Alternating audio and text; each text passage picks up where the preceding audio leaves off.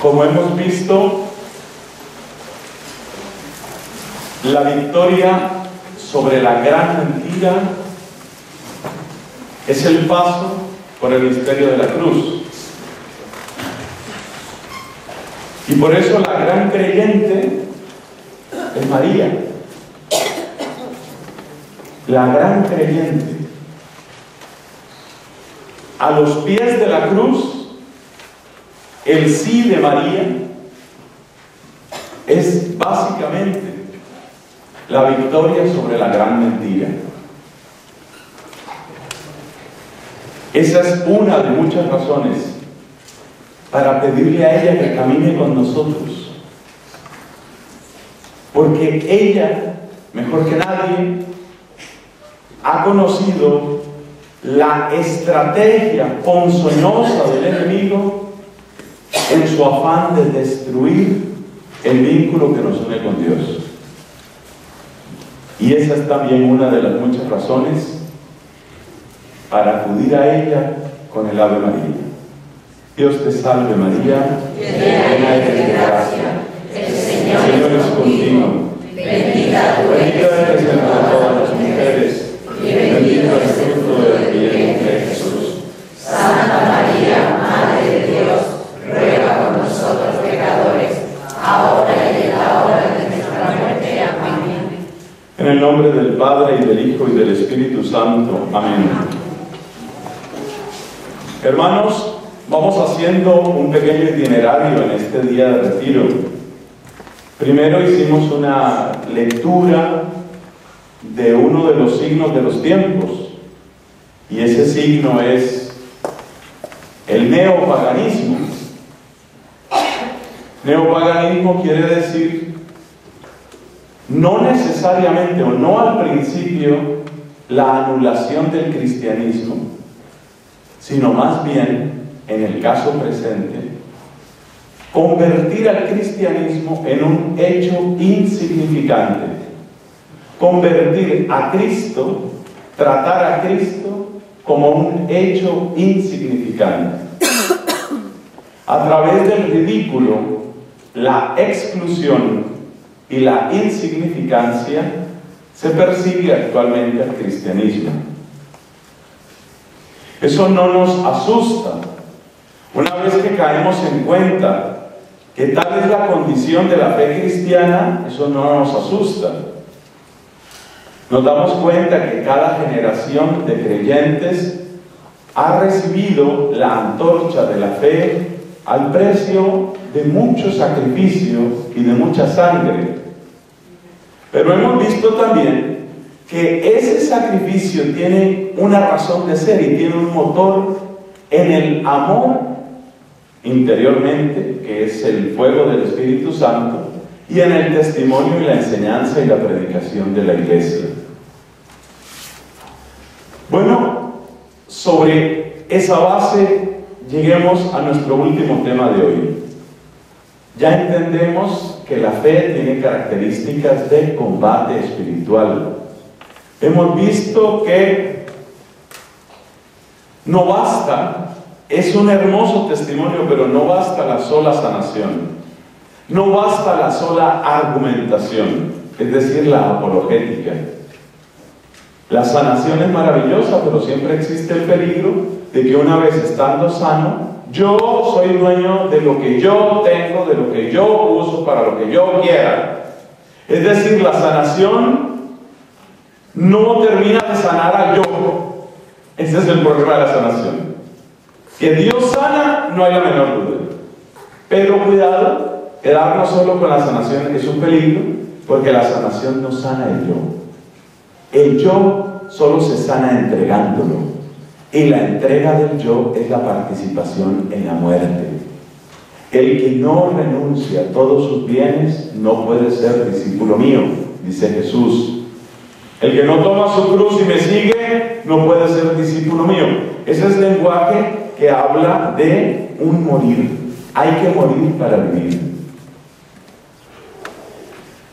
Entendido que la fe tiene esa característica de lucha, pues miremos cuáles son los principales frentes dentro de esa lucha. en dónde se libra esa batalla. Sobre todo para entender algo, y es que ninguno de esos frentes por sí solo asegura una victoria. Por ejemplo, el anuncio de la misericordia es una parte esencial de la nueva evangelización, pero la sola misericordia, la sola compasión no va a ser suficiente. La lucha por la dignidad y por el respeto a la vida es necesaria, pero tampoco va a ser suficiente. Por eso una de las características de la nueva evangelización es que tiene que ser integral. Si hay algo que yo creo que el Señor espera de sus discípulos hoy, es que estemos dispuestos a servir y estemos dispuestos a entregarnos no en un solo frente, sino en muchos. Entonces revisemos cuáles pueden ser principalmente esos frentes y por qué están amenazados en nuestra época, o de qué modo están amenazados en nuestra época. Lo primero, creo yo, o por lo menos de lo más visible, es lo que tiene que ver con el amor y la sexualidad. Ese es un frente muy importante. La razón por la que la sexualidad tiene ese lugar tan especial y que necesita ser evangelizado es por la intensidad de satisfacción que produce y por la conexión o la relación que tiene con el yo. Efectivamente, están hechas las cosas de tal modo, así las quiso Dios, que el lenguaje de la sexualidad es el lenguaje de la entrega. Si nosotros miramos cómo se utilizan las palabras al decir, bueno, es que, bueno, ella se le entregó a él, por ejemplo, eso no deja duda de qué fue lo que sucedió. El lenguaje del sexo es el lenguaje de la entrega. Y el lenguaje de la entrega es el lenguaje del amor y el lenguaje de la fe. No hay separación en eso. Es decir, que en esto solo hay dos posibilidades. O inscribimos la realidad, nuestra realidad de seres sexuados, dentro del lenguaje de la entrega y de la fe, o inscribimos nuestra sexualidad dentro del lenguaje de la rebeldía a Dios y el rechazo a su propuesta. No existen sino esas dos posibilidades. Y por eso, esta área tan particular de la vida humana es y va a seguir siendo tierra de contienda. Detrás de lo que hay en el aborto a discreción, gratuito, pagado con los impuestos de todos, porque eso es lo que significa gratuito, que toman de tu dinero para pagarle los abortos a otras. Eso es lo que quiere decir gratuito. Y eso es lo que quiere decir libre acceso al aborto. Entonces, detrás de eso, ¿qué es lo que hay? Detrás del libre acceso al aborto, detrás del llamado matrimonio gay, ¿qué es lo que hay? Detrás de la difusión acelerada y omnipresente del erotismo, ¿qué es lo que hay? Pues lo que hay es una concepción de la sexualidad humana como entretenimiento, como una especie de juguete, como una especie de droga, como una especie de distracción. Y si miras un poco más, detrás de eso lo que hay es una concepción del yo como absolutamente autónomo. Yo disfruto, yo dispongo, yo deseo, yo poseo. Entonces la evangelización tiene uno de sus frentes precisamente ahí, en el mundo de la sexualidad. ¿Cómo tenemos que interpretar eso? Quiere decir que la primera evangelización tiene que obsesionarse con el tema sexual y entrar a meter el tema sexual por todas partes. No es eso exactamente lo que quiero decir. Más bien lo que quiero decir es esto, que debemos utilizar esa área de nuestra vida debemos mirarla como un termómetro que indica el vigor de la presencia del Evangelio en nosotros mismos, en nuestras comunidades, en nuestras familias.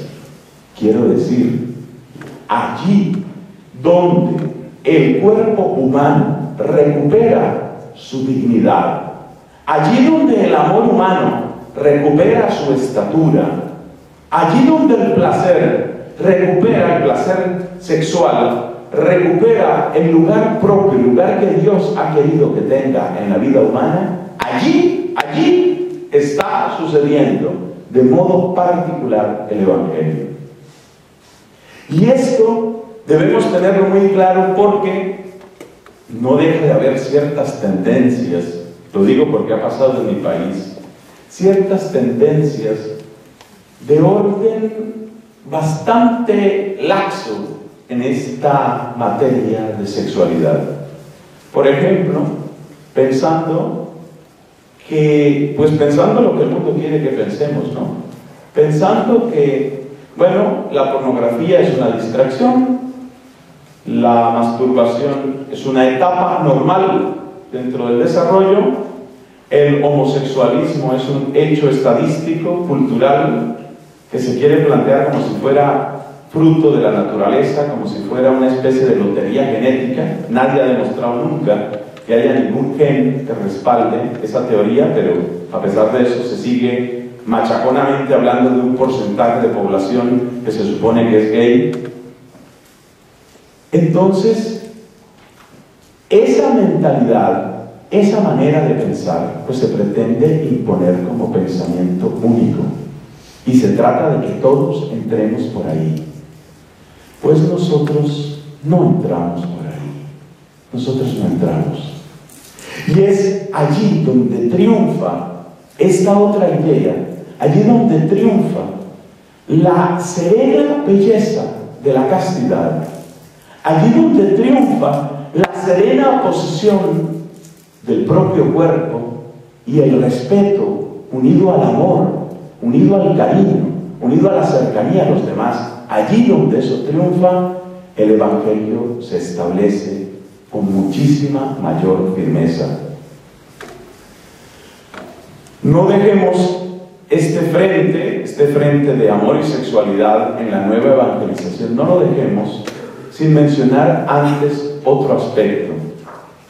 Y es que allí donde no se da esa victoria, es decir, allí donde el desorden y allí donde ese pensamiento único que venimos diciendo se impone, no es solamente que una forma de pecado, es decir, pecado de lujuria, se cometa. Lo más grave quizás no sea eso solo. Lo más grave está en que la mente prisionera de ese tipo de pecado es incapaz de tener suficiente capacidad crítica para una verdadera transformación social. Eso parece explicar por qué tantos gobiernos están interesados en que todos nos obsesionemos con el placer sexual.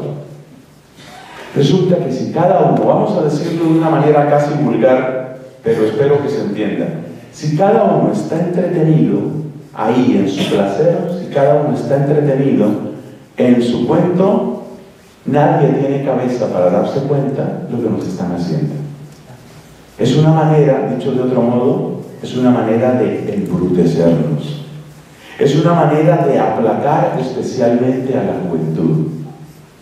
Llena de droga, llena de televisión y llena de sexo a la juventud y ya los tienes amaestrados para que sean consumidores estúpidos. Lo único que necesitan es uno de estos aparatos para estar conversando, pornografía a granel y fornicación un día sí y otro también. Y ya están, ya están ellos distraídos, ya son esclavos sonrientes. Es decir, este tema sexual, en contra de lo que se suele pensar, no es un tema privado ni individual. La sexualidad es un tema social y público, porque la sexualidad es uno de los instrumentos preferidos de dominación de la mente. Ten a la gente con su cabeza repleta de sexo y la tienes amaestrada. Lo único que necesitan es su porción de droga. Y su droga se la da su mismo cuerpo. Se la da su deseo insaciable y creciente. Entonces, la nueva evangelización, entre otras cosas, o entre muchas cosas, la nueva evangelización implica una generación de gente casta. Esto no se dice mucho, esto no se dice mucho y es necesario decirlo. Sobre todo es necesario que nuestros jóvenes tengan esa convicción. Y sobre todo es necesario que sean capaces no solo de tenerla, sino de irradiarla, de compartirla, de comunicarla. Encontrar una persona, hombre o mujer, que tenga esta convicción y que al mismo tiempo, y que al mismo tiempo, sepa tener alegría, amistad, ternura, solidaridad, mira, eso tiene una potencia de evangelización que no te imaginas. Algunos dicen que en el mundo antiguo las dos cosas que impactaban más a los paganos eran el martirio y la virginidad. Luego algún mal pensado dice que se parecían esos dos. Bueno, martirio y virginidad. Martirio por razones obvias, eso de entregar la vida por una causa. Pero la virginidad tenía un impacto enorme en el mundo antiguo. ¿Por qué? Porque resulta que donde todo el mundo está en cadenas, que alguien camine con libertad impacta. Y eso es la castidad. Y eso es la virginidad. Por algo San Pablo en el capítulo quinto de la carta a los Gálatas pone como fruto del Espíritu Santo la continencia, el dominio de sí. Allí donde hay dominio de sí, allí donde hay continencia, castidad, ahí hay un testimonio muy poderoso. Y yo creo que es importante en estas asambleas de jóvenes carismáticos que se vayan a hacer, de por Dios prediquen esto, pero predíquenlo abierta y descaradamente. Es que estamos omitiendo el tema. Yo por eso lo subrayo, porque estamos omitiendo el tema, porque creemos que el tema va a ser impopular entre los jóvenes. Pues déjame decirte algo, impopular va a ser todo, porque una fe como la nuestra, que tiene en el centro la cruz, jamás puede guiarse por criterios de popularidad. Si tú vas a buscar un evangelio que sea popular, mira, vete a buscar a otra parte. Ese no es el evangelio de Jesucristo. Lo que sí es cierto es que se necesita, y repito, se necesita que junto a esa castidad y a esa coherencia en este aspecto afectivo y sexual estén el respeto, la alegría, el cariño, la solidaridad. Lo que resulta realmente victorioso sobre la mentalidad súper, hiper erotizada del mundo no es la simple castidad, no es la simple continencia. Lo que resulta sorprendente es encontrar gente que vive su castidad y la vive cada uno obviamente dentro de su estado. Una cosa es la castidad del casado, otra cosa la castidad del viudo, la castidad del soltero, etc. Pero que cada uno viva ese regalo, ese regalo de castidad, que lo viva con alegría, con cariño, que lo viva con solidaridad, con amistad. ¿Eso cómo impacta? Eso produce un impacto muy grande. Produce ese impacto saludable si el sacerdote tiene ese don, pero no es menos el impacto que produce en el laico cuando es así. Que el mundo nos encuentre entonces, sea esta la primera conclusión, que el mundo nos encuentre castos, coherentes, felices y solidarios. Eso, eso impacta, eso produce eso produce un efecto maravilloso. Entre las figuras que recuerdo relativamente recientes con este don muy sobresaliente está Giorgio Frassati.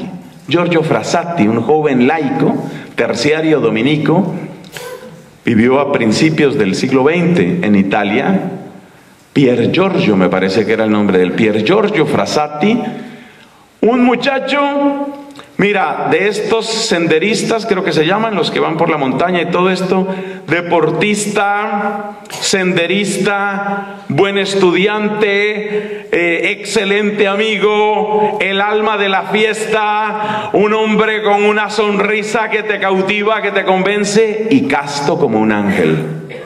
Eso impacta. Eso impacta. Porque este que tiene todo, que tiene todo para disfrutar y hacer disfrutar, mira con cuánta serenidad y alegría vive lo suyo. Y así se responde a esa manera de obrar del mundo. Además hay un detalle. Cada uno de nosotros experimenta como profundamente suyo, pues su sexualidad, su intimidad. Cuando hablamos de una verdadera castidad, estamos hablando de que la raíz misma de nuestro ser está en manos de Dios. Aquí tengo que hacer una anotación que también es impopular. Mire, si vamos a ser sinceros, que tenemos que hacerlo alguna vez en la vida, ¿no? Como decía el, el chistoso, seamos sinceros ya que las circunstancias lo permiten. Mira, en esto hay mucho carismático que va por libre. Y hay mucho que cree que con que yo sepa la alabanza y con que yo sepa que Dios es amor y con que yo ayude en la evangelización, a nadie le tiene que importar cómo vivo con mi pareja, con mi esposo, con mi esposa. Lo que quiero decir es que hay mucho carismático. Ese mucho lo digo por lo que yo encuentro en materia de confesión y de consejería. Obviamente las estadísticas definitivas las tendrá solo Dios.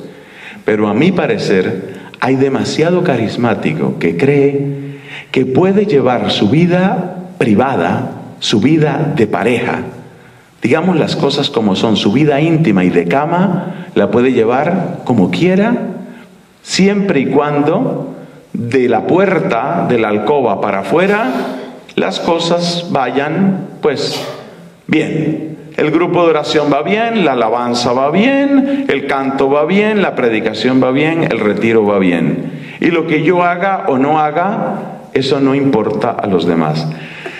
Mira, déjame decirte, en primer lugar, que para nosotros cristianos no existe separación entre vida privada y vida pública. Cuando nosotros nos postramos ante Jesús, le estamos entregando lo privado y lo público. Y yo he visto que esas incoherencias íntimas, privadas, entre comillas, secretas, se están robando mucho de la fuerza. Es muy interesante en el libro de los Proverbios cuando se habla de la castidad, como dice, que el que peca contra la castidad, el que se deja llevar por la lujuria, pierde su vigor. Y es así, es así. Entonces, número uno, esos pecados que se cometen así en privado, me estoy refiriendo sobre todo a métodos anticonceptivos y a uso de la pornografía en privado, esos pecados que se cometen en privado le roban el vigor al corazón. El corazón necesita estar lleno de fuego, lleno de celo, lleno de amor. Y para eso la fuerza de vida que hay en ti, y para eso la fuerza de amor que hay en ti, tiene que ser como un río que Dios dirige. El correr de las acequias alegra la ciudad de Dios. El pecado Incluso si es pecado que parece legítimo, porque yo no me meto con nadie, yo no estoy adulterando, nadie tiene que meterse allá en nuestra intimidad, allá en nuestra sexualidad. Mira, el pecado convierte ese río en una inundación y con una inundación no se hace cambio, no se hace fuerza, no se da vida. Entonces, cuidado con eso, cuidado con ese tema. Si ustedes quieren verdaderamente vigor, la generación casta es la que tiene vigor. Y el hecho de edificarnos y el hecho de educarnos en la santa obediencia a nuestra iglesia en esta materia, créeme que da un vigor que no te imaginas. De ahí nace el vigor. Entonces hay mucho carismático que va por libre en esto, hay sacerdotes dentro y fuera de la renovación carismática que no le ven problema a este tipo de cosas, no, no, lo que vosotros hagáis allá como pareja, me acuerdo un sacerdote que hablaba así, abiertamente, lo que hagáis como pareja no es tema mío. Pero, pero, pero padre, pero padre, a ver, ¿eres sacerdote de quién? Si eres sacerdote de Cristo no puedes hablar así. El que sea de Cristo, el sacerdote que sea de Cristo, le tiene que importar todo.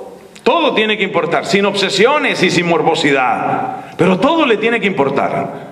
Como le pasa a una mamá con su hijo, como le pasa a Cristo con sus discípulos. Todo me interesa de ti, dice Cristo, todo. Entonces te necesito santo en tu habitación, encerrado con tu mujer, o frente a tu ordenador, te necesito santo, ahí te necesito santo. Te necesito santo después en la plaza pública. Te necesito santo en la evangelización. Amén. Pero te necesito santo en lo privado y en lo público. Entonces, este frente particular requiere de nosotros que lo más íntimo de nuestro ser verdaderamente sea de Dios, esté entregado a Él, haya sido tocado, transformado, bendecido por Él. Y en eso está nuestra señal de pertenencia. Hay una explicación muy bella que leí alguna vez sobre el porqué de la circuncisión. Pues mira que la circuncisión, de una manera, pues obviamente visible, como sello en la carne, lo que quería decir era eso lo más íntimo de mí, pues para el caso del hombre, ¿no? Lo más íntimo de mí está en alianza con Dios. Eso es lo que quiere decir la circuncisión. Entonces, nosotros tenemos que vivir como un pueblo circuncidado. Lo más íntimo de ti, que eres soltero, que eres casado, que eres cura, que eres monja, que eres separado, lo más íntimo de ti está circuncidado. Lo más íntimo de ti está para el Señor. Lo más íntimo de ti, el Señor lo conoce y ahí está sellada tu alianza con Él. Circuncidad vuestros corazones, dicen los profetas. Pues así tenemos que vivir. Entonces, ¿en dónde está este frente? Ya ves, no es solamente la lucha legal, que allá, que no sé qué, que el gaymonio o matrimonio gay, esa es parte de la lucha. Pero la principal parte de la lucha es que tu corazón esté circuncidado, que lo más íntimo de tus afectos y de tu expresión sexual esté ante Dios y sea grato a Dios en el estado de vida que tú tienes. Otro frente, pasemos a otro. El tema de la vida. La defensa de la vida en todas sus distintas expresiones. ¿Cuáles son las principales dimensiones del tema de la vida? Pues son, primero, el tema de los embriones. Entonces ahí está, ahí están situaciones difíciles. Es que esto no tiene tema fácil. Dijimos que campo de batalla. Si es campo de batalla, nada es fácil, nada. Mira, la defensa de la dignidad del embrión humano, mira ya lo que va a implicar. Implica que tú tienes una amiga que se va a hacer fertilización in vitro y es tu amiga. Y es tu amiga. ¿Sabes lo que me ha tocado a mí? A mí me ha tocado con una prima. Una prima que con lágrimas en los ojos me dice, nos hemos hecho todos los exámenes, nos hemos hecho todas las pruebas y lo único que nos aconsejan todos es la fecundación in vitro. Y yo soy el primo de mi prima. Y yo soy el cura de la familia. ¿Y ahora qué hago? Pues a ella hay que hablarle con mucho, mucho amor, pero hay que hablarle con claridad. Y esa es lucha, y esa es batalla. La fertilización in vitro, para el que no se haya enterado, supone la producción de embriones humanos que van a terminar siendo seres de desecho. Siempre, siempre. se producen por cada implantación exitosa, se producen 5, 6, hasta 10 embriones que quedan congelados, que quedan, como dice un documento hermoso de la Santa Sede, sometidos a un destino absurdo. Y eso es batalla, eso es batalla, porque es tu prima, como yo tengo mi prima, o es tu hermana. Y ella quiere, por supuesto, tú no se lo puedes impedir, ¿no? No se lo puedes impedir, pero es tu lucha también. Y hay que decir, y hay que hablar con caridad, con oración, hay que hacer ayuno y penitencia, y hay que buscar el momento y muchas veces experimentar con dolor que uno no es escuchado, pero hay que hacerlo. Y esa es batalla. Hasta que entiendan todos que todo embrión humano tiene su valor que cada uno ha sido amado de una manera única e irrepetible y ha sido motivo para que Cristo derrame su sangre en la cruz. Eso es, eso es un una frente de lucha difícil, muy difícil. Añádele a eso que la gran mayoría de los métodos anticonceptivos y la gran mayoría de los métodos de anticoncepción de emergencia, así llamados, son abortifacientes. Son abortivos. Los dispositivos intrauterinos son abortivos. ¿Por qué? Porque no impiden la concepción. Lo que impiden es la implantación. Ahí está. Ahí está. Entonces, hay que dar esa pelea. Y esa pelea es antes de que se note nada en la barriguita. Hay que dar esa pelea. Y luego está toda la pelea del aborto. Entonces nosotros tenemos que echarnos a la calle cada vez que se vea que, resulta razonable, es decir, que ese apoyo va, va a sumar, hay que apoyar, hay que estar. Nosotros no podemos ser indiferentes a esa lucha, no podemos ser. Pero es una lucha ímproba, es una lucha larga, es una lucha extenuante. En un país como España hay que ser obstinado en el amor, obstinado en el bien, hay que estar demasiado enamorado de Dios para seguir dando la lucha por la vida. Porque aquí yo no veo un partido político, ni hay prácticamente en otras partes, un partido político que tenga una agenda clara, provida, y que tenga más o menos una posibilidad de éxito. No lo hay. Lo que yo veo, experto no soy, pero creo que algo conozco de España, lo que yo veo es un partido que considera que cuanto más se abra la puerta al aborto, mayor popularidad, mayores votos, porque los fetos no votan, ¿no?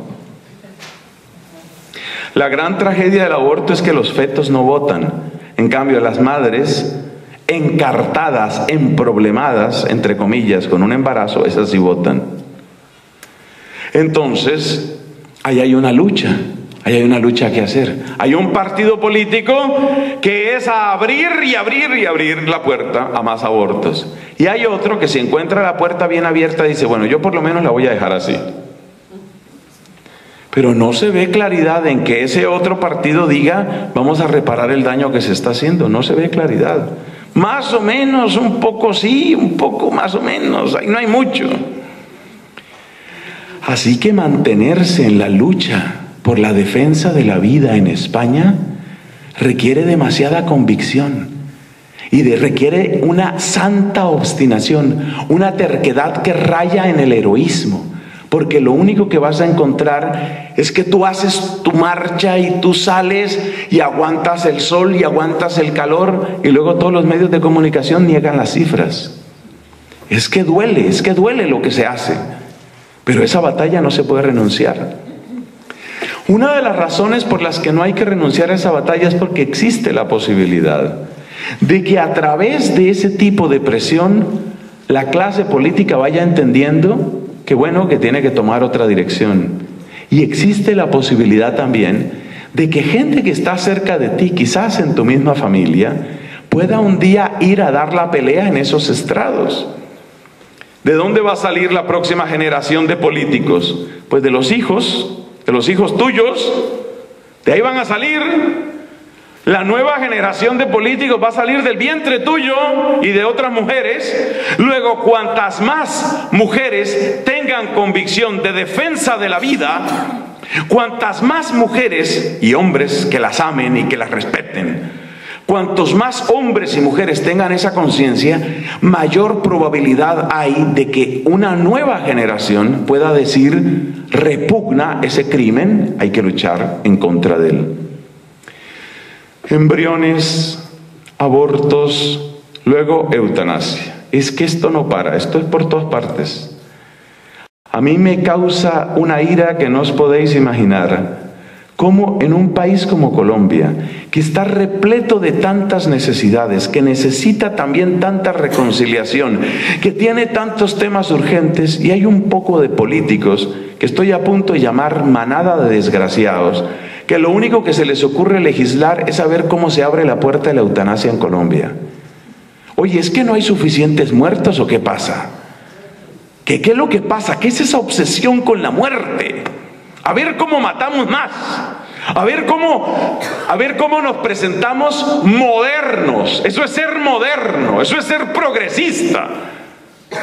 Qué ironía y qué burla en todas partes es una ironía, pero créeme que en un país como Colombia, que eso suceda es una vergüenza, una vergüenza de marca mayor. Entonces está la pelea por la eutanasia. Esa pelea también hay que darla entonces. Hay que pelear por la dignidad de la vida humana y atención con esto y, ahí voy dejando el segundo tema. Hay que, hay que tener en cuenta este detalle. Así como luchamos por la castidad, por una sexualidad bien vivida, por el respeto a los embriones, por el, respeto a la vida del no nacido, por la, es decir, por la defensa de la vida también en los que están amenazados de eutanasia. Así como hacemos todas esas luchas, no se nos puede olvidar que hay otras vidas que están en peligro por las múltiples injusticias de nuestra sociedad. Porque ha sido tradición, triste tradición, en muchos países, que la izquierda se presenta como la abanderada de los derechos de los obreros, de los pobres, de los excluidos, de los inmigrantes, y la derecha se presenta como la defensa de los no nacidos, de los que van a ser eutanasiados. Hay que romper con ese esquema. Mira, te lo voy a plantear de esta manera. Hay que quitarle esa bandera a los que se quieren presentar como defensores de la clase pobre. Una verdadera evangelización integral sabe que con el mismo ímpetu con el que luchamos por defender la vida del no nacido, hay que cuidar la vida del que está siendo pospuesto, burlado, marginado u oprimido. Solo si nosotros, desde nuestra convicción de fe, somos los primeros, y en eso yo creo que la iglesia en España le da ejemplo a muchos otros, porque por ejemplo lo de Cáritas es ejemplo mundial las dimensiones de ayuda que Cáritas presta al pueblo español son ejemplo en el mundo entero. Eso también hay que decirlo con claridad. Pero mira esto, hay que tener ese cuidado. Con la misma fuerza con que nos echamos a la calle para defender la vida de los no nacidos, es necesario velar para que las injusticias, las múltiples injusticias, por ejemplo, del sistema capitalista o de los mercados internacionales, no encuentren asiento, no encuentren fuerza entre nosotros. Solo si aprendemos a luchar al mismo tiempo contra la injusticia social y contra los ataques a la vida humana, a la dignidad de la vida, seremos creíbles. Hay que quitarle a los enemigos de la fe y de la iglesia, hay que quitarle la bandera de que ellos sí de que ellos sí se preocupan del pobre, de que ellos sí se preocupan del obrero, de que ellos sí se preocupan del oprimido, de que ellos sí se preocupan del inmigrante. la tarea es gigantesca. La tarea es gigantesca.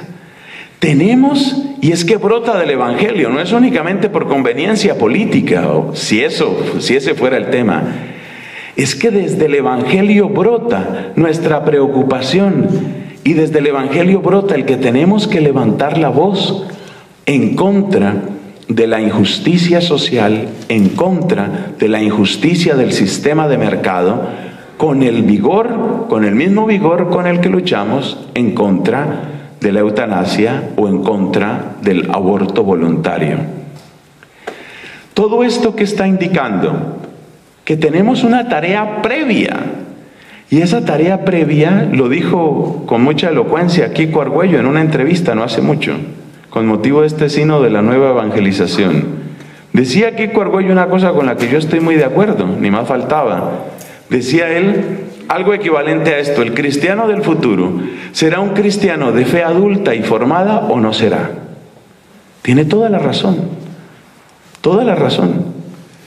Y resulta que la, renovación carismática ha hecho cosas fantásticas y yo no me canso de agradecerle a Dios el don de la renovación carismática. Pero hay ciertas versiones de la renovación carismática que nunca se meten con los temas sociales.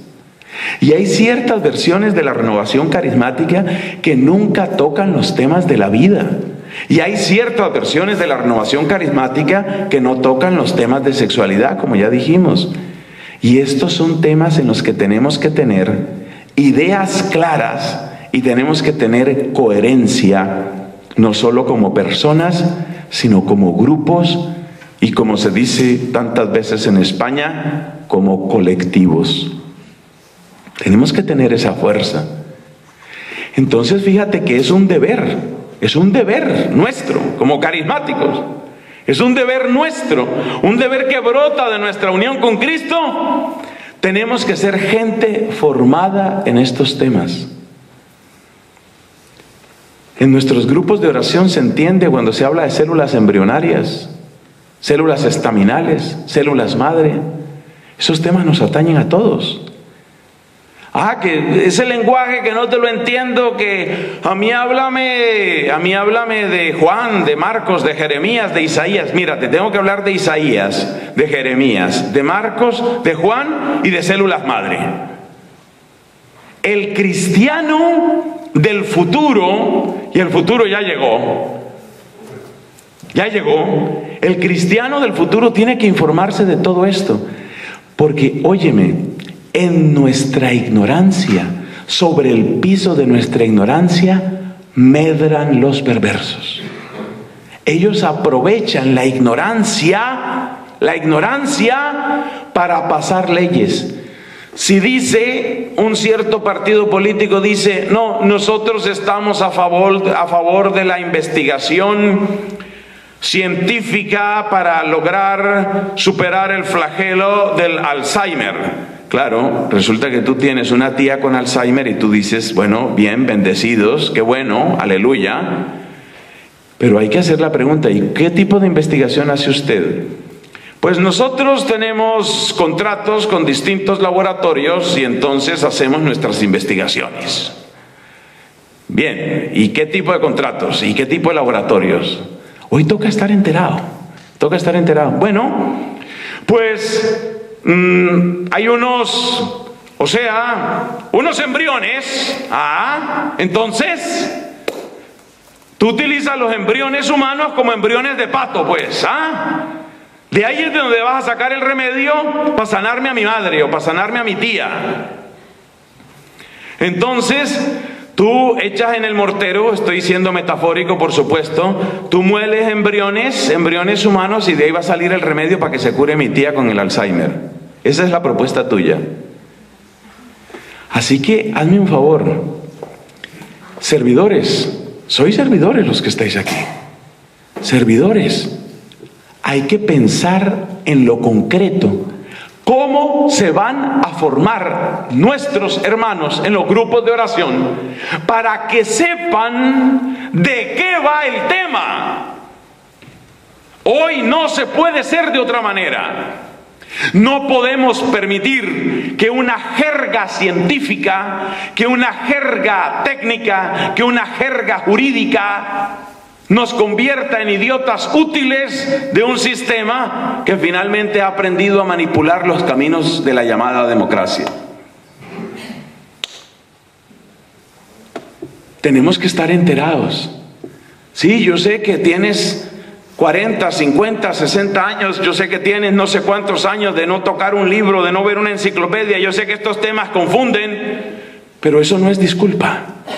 Si ahí están en juego vidas humanas, te toca y me toca.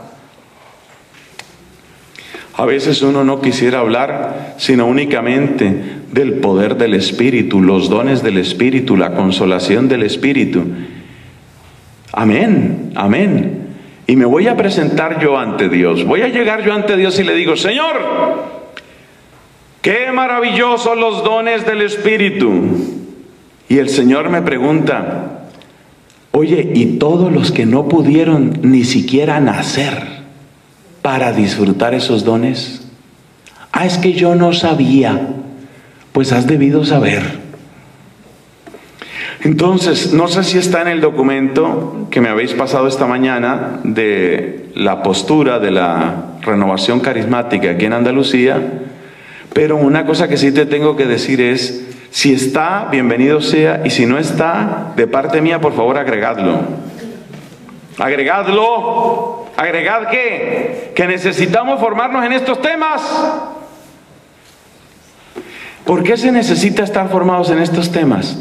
para que el día que se convoque una marcha no tengamos ya 500 mil, sino que tengamos ojalá 3 o 4 millones. Que cuanto más sea la presencia masiva, más difícil va a ser que nieguen las cosas los políticos, los que tienen poder de decisión y los medios de comunicación. Entonces tenemos un deber de enterar a la gente, empezando por nuestra gente, enterarla de estos temas. Bueno, como veis, le he dado mucho más tiempo a los frentes menos populares de la nueva evangelización. Son muy importantes. Un frente que se llama afectividad y sexualidad y que empieza en que tu corazón esté circuncidado. Y otro frente que se llama defensa de la vida y que trae para todos una tarea. Hay que, hay que leer, hay que leer, no hay remedio. Hay que leer, hay que mirar lo que han dicho, porque un lugar donde la gente escribe bien se llama España. Aquí se escribe bien. Y los documentos que saca la Conferencia Episcopal Española, muy, muy a menudo, en la inmensa mayoría de los casos, son referencia no solo para este país, sino para muchos otros países. Tenéis gente que piensa y que escribe bien en muchos temas, pero los documentos solos no sirven. Los documentos hay que saber leerlos, hay que saber exponerlos, hay que presentarlos. ¿Y quién va a hacer esa tarea? A ver quién va a hacer. Los documentos no se presentan solos. Entonces, por favor, servidores, a ver de parte de Jesús, recibidme esta palabra. De parte de Jesús, servidores, ¿quién va a dar esta formación? Allá en el grupo, allá en la comunidad de oración, ¿quién la va a dar? que tengamos criterios formados, que sepamos pensar con nuestros pastores, que sepamos pensar con mentalidad de iglesia. ¿Eso de dónde va a salir? Eso lo tienes que producir tú, lo tengo que producir yo. Otro frente de evangelización. Ese es mucho más conocido para nosotros. Primer anuncio. Carigma. A ver, una curiosidad, que nadie se sienta ni avergonzado ni se sienta mal por esta pregunta que voy a hacer. ¿Cuántos de vosotros habéis participado en un seminario de vida en el Espíritu a gente totalmente nueva? Totalmente nueva. Es decir, abriendo, abriendo paso, abriendo camino, no repitiendo a los mismos, sino llegando a otros nuevos. ¿Quiénes de vosotros habéis tenido la experiencia de participar en un seminario así, incluso de dirigirle la palabra a unos de esos que están ahí, pero que no saben a veces ni distinguir la A de la B en materia de fe. A ver, quiero ver manos levantadas. ¿Quiénes han estado aquí en esos seminarios? Que han estado en seminarios de vida en el Espíritu predicándole a gente que nada que ver. Bueno, yo veo algunas manos levantadas, pero según mi conteo, no le creáis mucho a mis gafas, pero según mi conteo creo que no alcanza a ser la cuarta parte. Quizás no alcanza a ser la cuarta parte. Bueno, yo con todo amor tengo que decir a las otras tres cuartas partes, no te lo pierdas, no te lo pierdas. Ese es un frente de la nueva evangelización. Ese es un frente de crecimiento en la fe. No te pierdas la experiencia de presentarte, quizás débil y tembloroso, como Pablo en Corinto. No te pierdas la oportunidad de presentarte en algún momento para decir, a ver, tengo una noticia, que creo en Jesús y que Jesús me ha cambiado la vida. No te pierdas esa oportunidad. Esa oportunidad, entre otras cosas, renueva tu propia fe. La fe se renueva dándola. Los carismas crecen empleándolos. Los tesoros del cielo son distintos de los tesoros de la tierra. Los tesoros de la tierra toca guardar y no gastar. Los tesoros del cielo toca gastar y entregar. Entonces, si tú quieres sacar un propósito específico, un propósito muy concreto de este retiro, ahí tienes un tercer frente. Tercer frente de crecimiento en la fe, tercer frente de batalla espiritual, tercer frente, tercer frente de Nueva evangelización, evangelización explícita. Alguna vez, oye, no te mueras, no te vayas a morir, ¿ah? No te vayas a morir sin, no te vayas a morir sin haber tenido la experiencia de decirle a uno, a uno que no creía o que no cree, de decirle a uno que pasa de todo, decirle a uno que no le importa, uno de esos que no le importa, ni la iglesia, ni el cuento de la Biblia, ni las mitologías, como dicen ellos. No te pierdas la oportunidad de decirle a uno de esos, mirándole a los ojos, yo creo en Jesucristo. No te pierdas eso, no te vayas a perder eso. No te vayas a perder la oportunidad, oye lo que voy a decir, no te vayas a perder la oportunidad de que alguien se burle de ti. No te vayas a perder la oportunidad de sufrir algo por el Evangelio. No te pierdas la oportunidad de sufrir algo por el Evangelio. Lo que nos cuenta Hechos de los Apóstoles capítulo tercero, capítulo cuarto, cada rato se llevaban a los apóstoles a la cárcel, los regañaban, los azotaban. Y en una de esas dice el evangelista Lucas, dice, cuando ya los sacaron de la cárcel, salieron felices por haber padecido por el nombre de Cristo. Una pregunta que se tiene que hacer todo servidor es esta. Oye, ¿yo qué he sufrido por Cristo? Yo he sufrido algo por Cristo, pero sufrir de sufrir. No sufrir de, bueno, pues yo sí he sufrido, porque imagínate, me ha tocado tomar un avión desde Bogotá. Y luego llegué y bueno, mal dormido, eh, tomar el tren. Y luego llegué y... No, no, no, a ver, esas son incomodidades. Vamos a clasificarlas como incomodidades, si se puede llamar incomodidad. Porque a mí el ave, por ejemplo, no me parece una incomodidad. Pero bueno, vamos a decir que eso puede clasificar como incomodidad. No, yo te estoy hablando sufrimiento, sufrimiento, que te excluyan, que te insulten, que te miren a la cara y mirándote a la cara te traten como basura, pero que sea por Jesús, por Jesús. Que tú puedas decir, esto me ha pasado porque soy de Jesús. Así habla la primera carta de Pedro, acuérdate. Mira lo que nos dice San Pedro en su primera carta. Si alguno tiene que padecer por criminal, bueno, eso no cuenta, merecido se lo tiene. Pero alegraos, aunque de momento tengáis que pasar por diversas pruebas, porque así vuestra fe purificada será más preciosa que el oro. Así nos habla San Pedro. Hay que tener eso, hay que tener esa experiencia.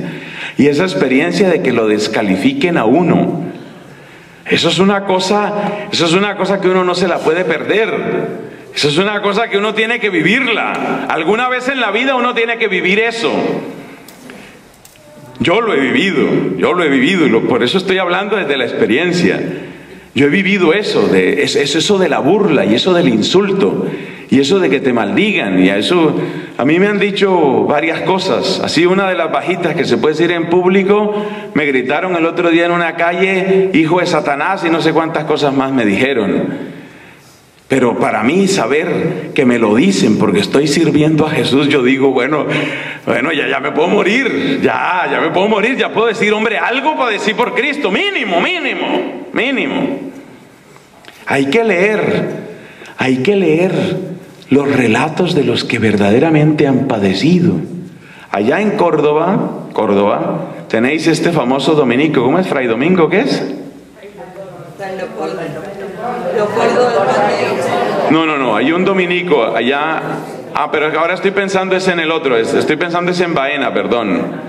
En Baena hay un dominico que fue obispo el domingo de no sé qué, y, bueno, que, él me perdone porque yo venga con, el no sé qué, que, que tendría que saberme el apellido. Oye, leer los relatos de este obispo, los últimos meses de su vida, no podía dormir dos noches en el mismo lugar porque sabía que lo estaban buscando para matarlo. Hasta que lo encontraron y efectivamente encarcelado, torturado y muerto. Eso es padecer por Jesús. Eso es padecer por Jesús. Entonces, ¿de qué me voy a quejar yo? Que porque duerma mal una noche me voy a quejar yo. ¿Eso qué es? Eso no es nada.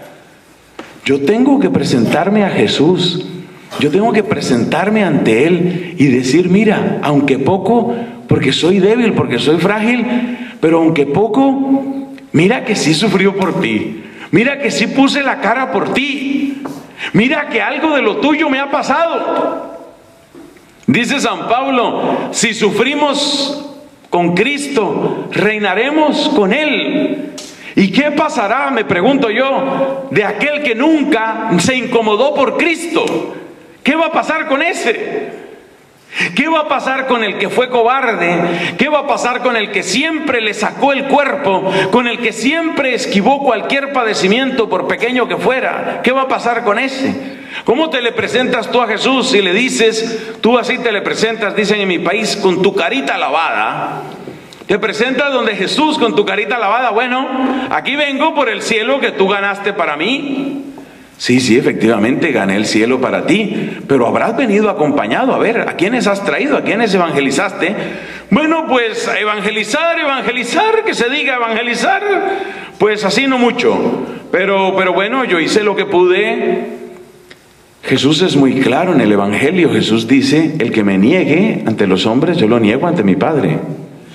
Eso no me lo invento yo, ¿no? Eso está ahí en Lucas. ¿Y qué es negar ante, ante los hombres? Bueno, negar ante los hombres es que tú no quieres que se enteren que tú sirves a Cristo.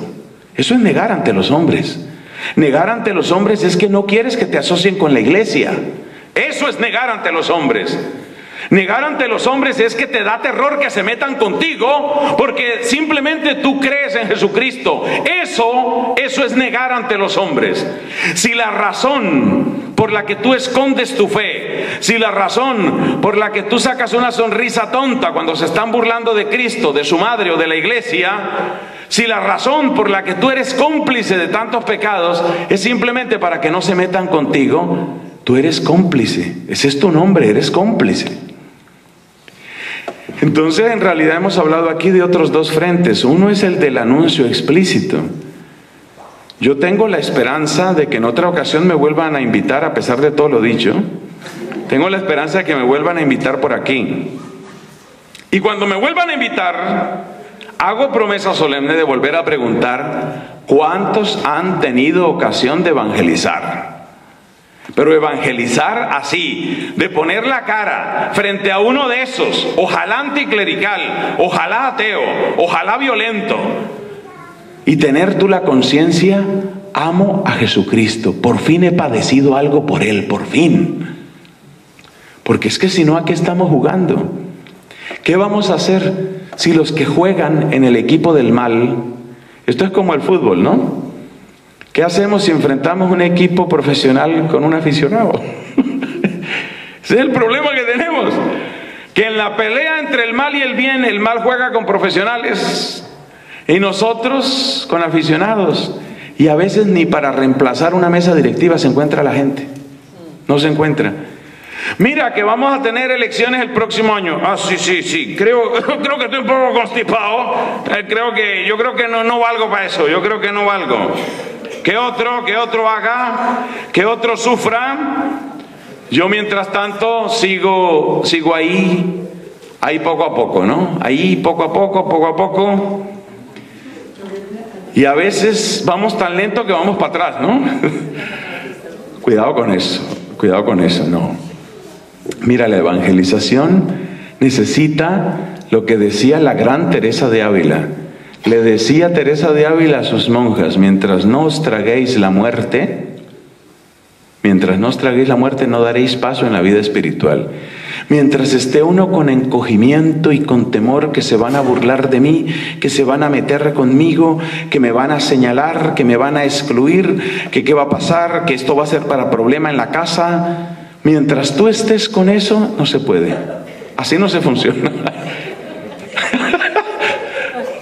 Así no se funciona. No, hay que hacer algo por Cristo. Ahora, que los irrespetos vengan de fuera, no de nosotros. Nosotros respetamos a todo el mundo.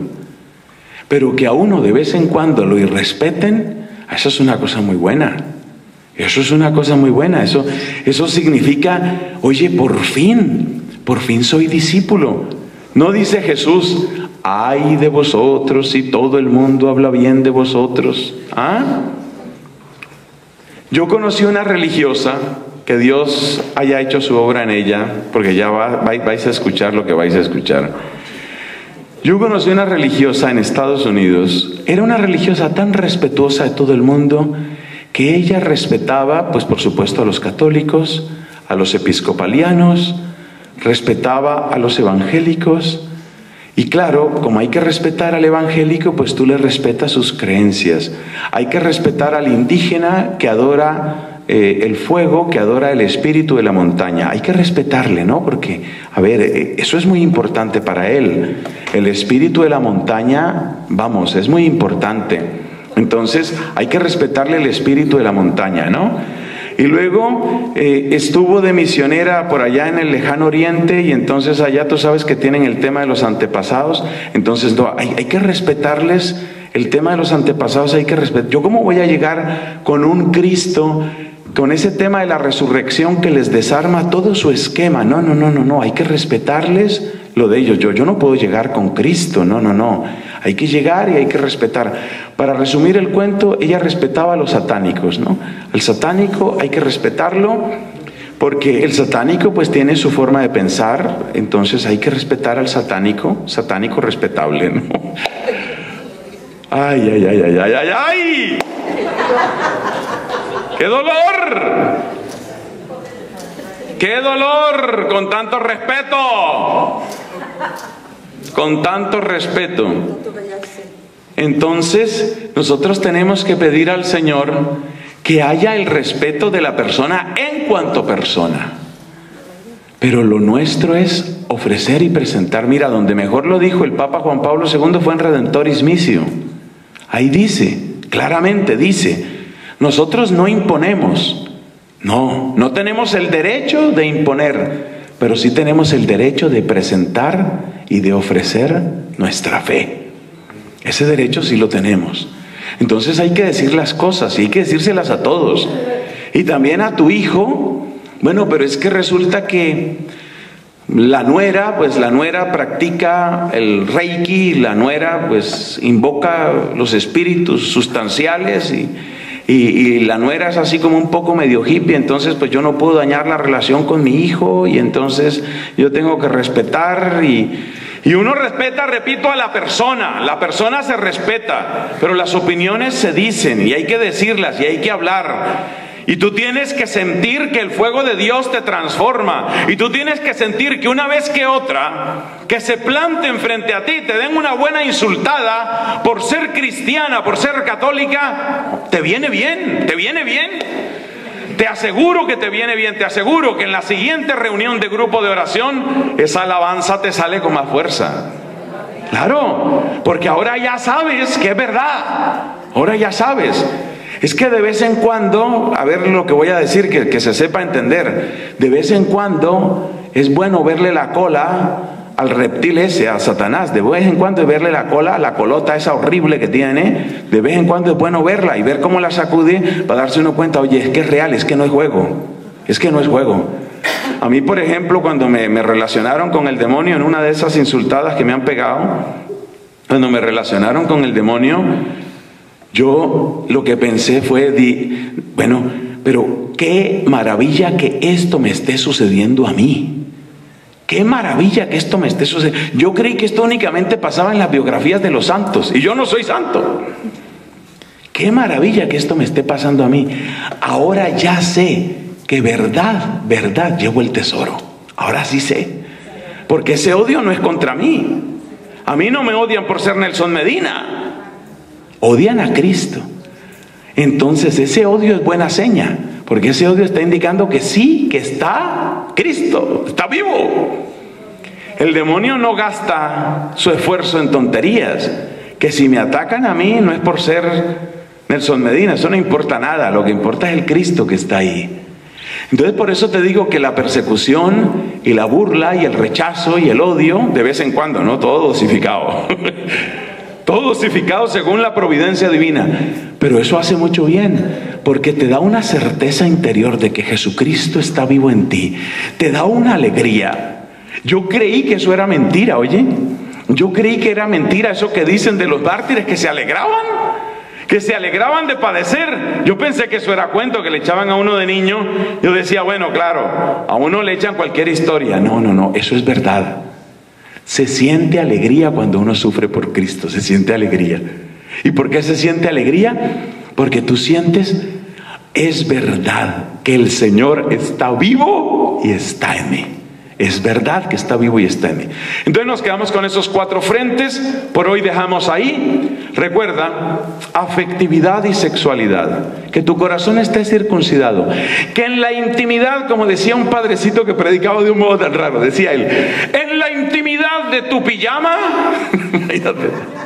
que en la intimidad de tu pijama, o pijama, como digáis, que en la intimidad, que ahí también reina Dios. Está bien dicho ahí también reine Dios en todo, en todo tu cuerpo, de arriba abajo, que todo lo hizo Dios. Ese es un frente. Dos, defensa de la vida en todas sus expresiones, embriones, fetos, nada de aborto, nada de eutanasia. Y, y lucha contra toda injusticia. A los ateos y a los enemigos de la fe tenemos que quitarle la bandera de que ellos sí defienden al pobre, al obrero, al oprimido, al marginado. Es el segundo frente. Tercer frente, evangelización explícita. Cuarto frente, en la vida cotidiana, en tu propia familia, en donde estés, que de vez en cuando te vengan un par de, un par de golpes, hombre, está bien, está bien, eso sirve, eso sirve que a uno lo excluyan, que venga la burla, eso sirve, eso tiembla el carácter. Eso hace que tú te des cuenta que Cristo está vivo en ti. La fe es lucha, la fe es lucha, la fe es combate. Y cuando tú ves que de verdad el Señor está a tu lado y que de verdad se cumple la palabra de Mateo capítulo 28, yo estoy con vosotros todos los días, hasta el fin del mundo. Cuando tú ves que eso se cumple en tu vida, mira, el gozo que se siente, yo por lo menos no lo cambio por nada. Yo no lo cambio por nada. Es el gozo de saber esto me pasa, esto me pasa por el amor de mi alma, me pasa por Jesús, me pasa porque Él está conmigo. Bendito sea, bendito sea el Señor. Vamos a ponernos de pies, acuérdate el minutito, minutito de silencio, que ese minuto sirve para que tú, por favor, grabes en tu corazón, dale ocasión al Espíritu Santo para que grabe en tu corazón qué es lo que tienes que llevarte tú para tu casa. Porque aquí esto tiene un mensaje para cada uno. ¿Qué es lo que tienes que llevarte a tu casa? Un momento de silencio para esa oración. Gloria al Padre, al Hijo y al Espíritu Santo.